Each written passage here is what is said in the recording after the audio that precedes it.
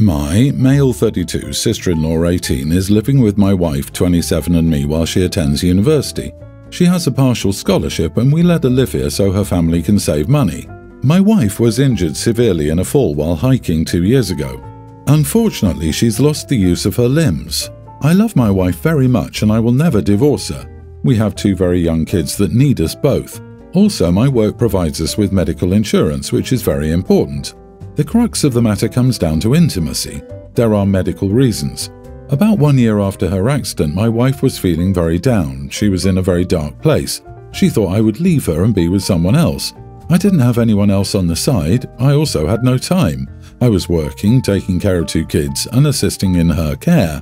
I literally had no time for anything like that. Anyway, it led to a fight that led me to admitting that I still had physical needs. Before you ask, yes, we are both in therapy. This has been a situation that neither of us imagined when we met. Long story short, my wife finds me women that I sleep with and have zero emotional attachment to. I don't go looking for women and I don't tell my wife what to do. When she wants, she makes the arrangements. It's not perfect and it's not what I want. I want my wife to be healthy again. However, it was a private decision that we made together. My sister in law moved in with us in September to start university.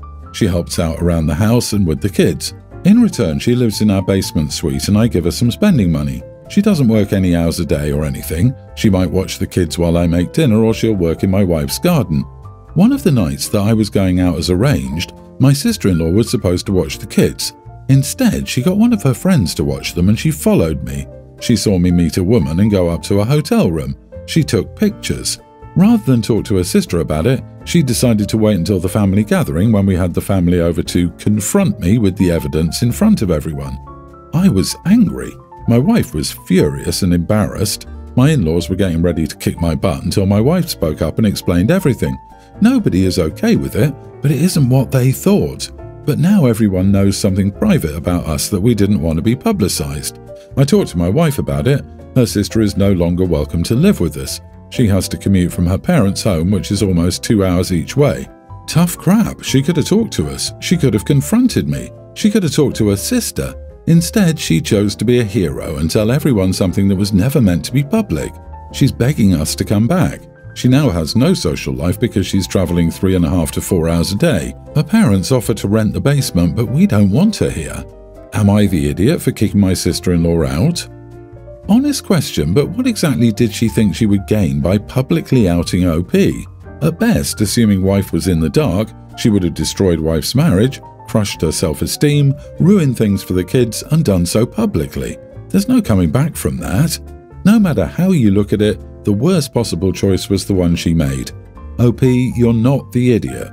She decided to put her own ego above thinking for even a single second, and this is the consequence. It sucks, but maybe she should have just talked to her sister instead of broadcasting it as a first step. Exactly, and in no scenario would the sister have somewhere to stay afterward. It's not like the sister would be allowed to live there while OP and his wife are going through divorce. She nuked her relationship with her sister, her cushy living, free living accommodations where they paid her for her help, for five minutes of spectacle that would have ruined family gatherings for her sister and nibblings for years to come. Main character syndrome, I suspect. Clearly, this chick thought it was going to be a lifetime movie where they kick the husband out and everyone hugs her afterward. I mean, I don't want to sound like an idiot, but if the husband is basically working, covering everything, raising the kids, and helping a paraplegic spouse, he'd have to do some heinous crap for me to rat him out. The dude is a complete hero. And no crap, intimacy is going to be awkward. Sister's idea of success would be to destroy her sister's entire life, no insurance, no support, etc. OP is not going far enough. The sister in law wanted to ruin his wife's entire life for five minutes of attention. So, my daughter Lily, a teen, approached her mom about getting some new clothes because her old ones were, according to her, seriously outdated. Without even giving me a heads up, my wife decided to let Lily take the reins and pick out the clothes herself from some websites online. Fast forward to me unexpectedly coming across Lily in a crop top and short shorts. I asked her if she was planning to go out like that, to which she casually responded with a confident, yes. I told her she needed to change into something more appropriate and asked who bought the clothes for her. It turned out it was my wife. I confronted my wife about it, told her I wasn't comfortable with our daughter's clothes, and suggested we return them. We ended up having a bit of an argument, with my wife saying our daughter is old enough to make her own clothing choices, that there was nothing wrong with the clothes our daughter was wearing, and that I was being too overprotective. After a long discussion, my wife reluctantly agreed to return the clothes, but on the condition that I tell Lily it was entirely my decision. Now my daughter knows and she's not thrilled about it. She argued that the clothes are trendy, a common style among her friends, and that I'm the only person who thinks wearing a crop top is inappropriate. But I'm standing my ground, saying that regardless of trends, I won't allow that type of clothing to be worn, not in public at least.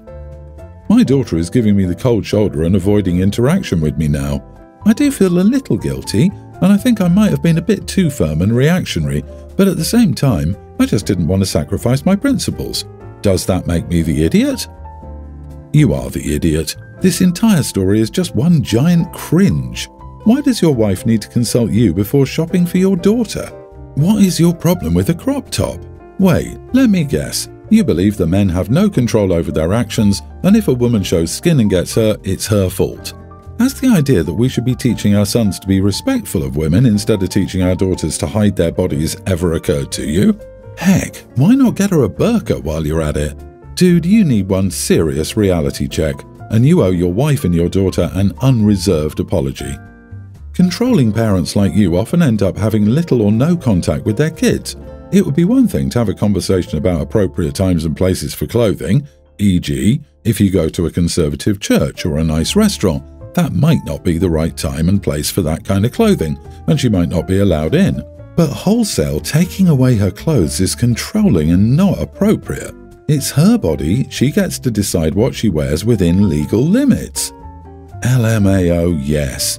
OP, you should keep up your current attitude and behaviour if your goal is for your daughter to seldom or never call or visit and spend as little time with you as possible as soon as she can get away, which is only a few years away. Good job, Dad. And I bet OP's sons are not held to nearly the same standard as his daughter regarding what they're allowed to wear either. My wife gave birth about one year ago and she changed. She was angry all the time, suspicious, and paranoid of everyone. I think her mother filled her head against me. She would constantly accuse me of cheating and mother in law, and she would talk badly about me on the phone when I wasn't home. One day she said she was leaving me and her mother was packing her stuff. She left with our daughter to go to her mother's house. Later that night, she called me and told me that she kissed a guy and asked me how it felt to be cheated on. She was accusing me again of being a cheater and how I betrayed her. I finally had enough and told her not to come back. Then she started blowing up my phone and I refused to answer or take her calls. She did show up at our house after two days and asked me for help with her mental state. I took her to the hospital and she was diagnosed with PPD and was put on medication. She slowly started returning to her normal self. I think she's healed and can manage by herself from now on, so it was the right time for me to divorce her. So I'd served her divorce papers a few days ago. She isn't happy about it and is begging me not to divorce her. She's blaming it on the PPD, and I understand that her head was messed up, but I don't tolerate cheating, so I'm proceeding with divorce. Am I the idiot? Not the idiot. PPD is not a get out of jail free card. I fully understand the hormonal paranoia and such. I was on a hormonal medication for a few months and it made me insanely paranoid that my partner was cheating on me, but acting on it is a completely different thing. I also had paranoia from PPD, it's awful. My husband couldn't do anything right. He could barely go to work without me freaking out. It's still not an excuse. When my partner went to work, I was beside myself. I was a million percent convinced there was another love interest there, and I spent the entire day crying and making up all these scenarios in my head. And the moment my partner walked through the door, I'd fight with them over this imaginary partner. I'm not proud of the person I was on the meds. The symptoms you're describing, paranoia and delusions, do not fit with postpartum depression. They sound more like postpartum psychosis. This is very different and very serious. It can cause paranoia, delusions, and hallucinations. OP, are you sure your interpretation of the diagnosis is correct? It's hard to judge this if nobody knows what's going on. It's a messy situation. But I hope you don't end the marriage over a kiss that may or may not have happened while your wife was mentally ill from a child that you created with her. Everyone is insane here. This woman was having a severe mental health crisis, and he did absolutely nothing to get her help, and is now crying like a little witch over her kissing someone. What a complete and absolute idiot. OP, at least be honest. You don't want to be married to her anymore, but over a kiss when this person was suffering a horrific episode is just ridiculous. My husband and I have been together for six years, and combined we have four kids. My two stepkids are tweens, my bio kids are a tween and an infant, obviously the youngest is our together baby. Now, since I gave birth, I've had a tough time eating. I can be super hungry, but more often than not, if I actually think about eating, I feel super nauseated or just grossed out and can't bring myself to eat actual meals. Stuff like crackers or finger foods are fine, but big meals just sicken me, the thought of eating it anyway. So since I had our daughter, I've eaten a total of maybe five hot meals. Yes, I've been in full contact with doctors who monitor me. We're trying to come up with a game plan. But anyway, given this, I hardly ever eat dinner. I usually cook it, place it out for my husband and kids, and then leave my plate empty because I can't stomach it. But here's where I could be wrong. My husband knows I have a very hard time eating. Most days he tries force feeding me, honestly, but yesterday I texted him saying, Making shepherd's pie tonight, I can't wait. I didn't say I would eat, so maybe that's where I went wrong. But on the other hand, I never text him with a drooling emoji after saying I'm making something, so maybe he should have picked up on that. I don't know. I was starving anyway, and I was looking forward to having dinner. So I get done cooking and call everyone to the table as I usually do, and next thing I know, my mother in law is walking through the door saying, Hope I'm not late, and then sits down, in my seat, and grabs the extra plate meant for me. I was shell shocked because, like, I just stood there. I didn't even know what to say. My mother in law just started digging into the dish even before my kids were served, which made me angry. I also don't like saying out of pocket things in front of my kids either, so I just told them to dig in and started walking off. My stepson, Tween, whispered, But Dad, I think Mom was going to eat tonight. And my husband said, Babe, were you going to eat tonight? You can take my helping. And I just ignored him because, like, I was so mad that I couldn't say anything at that moment. I needed to cool off. With a smile, I told my stepson, it's fine, and went to the other room. After mother in law left, my husband came out, asked me what that was about, and said, You could have taken my meal, babe, it's not a big deal. I kind of snapped and said he never should have even invited his mom over to eat without asking me, without knowing if I was hungry or not. I brought up that I texted him a drooling emoji indicating that I was hungry or excited for the meal. He just said, Yeah, but you never eat. Now I feel like a damn loser, thanks, and walked off. My stepson unfortunately heard this, and he came out with his plate and handed it to me and said, I stole some more before it was eaten so you could have some, mum. Literally the sweetest damn kid ever, I swear. But now I feel like an idiot because I truly do never eat hot meals, so it was safe for my husband to assume last night would be no different, and the fact that my stepson felt he needed to do something about it as well. Am I the idiot? My husband is still sulking over this, Edit, I only made enough for the people who were supposed to be there, myself included. I always make myself a portion, even though I never know how I'm going to feel about eating. But every night I only make enough for us. My husband knows this because there are never any leftovers. The portion my stepson brought me was maybe half a scoop. As for mother in law, she always does stuff like that. In her eyes, adults come first, hence why she grabbed food before kids had been served, because the adults worked all day. My husband doesn't hold the same view but never speaks up to her when she does it. My mother in law and I don't get along and never have, so she probably wouldn't have cared if she knew I wanted to eat. We don't speak usually.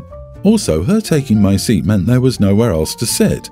I had no other option than to leave the room because despite my husband offering me his serving, he stayed seated and was dishing out his place without looking at me while he was offering it. I know him well enough to know that means he was hungry and was banking on eating regardless of having offered up his plate. Not the idiot. If a tween sees it, your husband should too. Your mother in law taking so much food when three children needed to eat from it is disrespectful. But your husband inviting someone over without telling or asking you while you're the one making dinner is the problem here. Oh, OP, tell your husband to take lessons from his son or get his stuff together. Your husband needs to step up. Your husband feels like a loser because he acted like one. Who invites their mother over to eat their wife's cooking without asking first? I mean, really? I get we men can be clueless, but damn, that brings clueless to a new level. Like caveman clueless. I wish I could introduce your husband to my wife. By comparison, I look civilized. Right? Why would he even assume she was cooking enough for his mother? And for mother in law to just walk in, grab a plate, and go to town? That's pretty rude, too. That woman has no couth whatsoever. She needs to get in her lane and stay there. How would she have felt if her mother in law had come in and pulled that crap on her postpartum butt? She would have gone thermonuclear. And now he's trying to manipulate you into thinking it's your fault. What the heck? Um, yes, it is your fault and I'm blaming you. LOL. He might have been a bit coddled as a kid. How could anyone not comprehend that that scenario is 100% their fault? I hope your hubby has had his come to Jesus moment and it changed him for the better.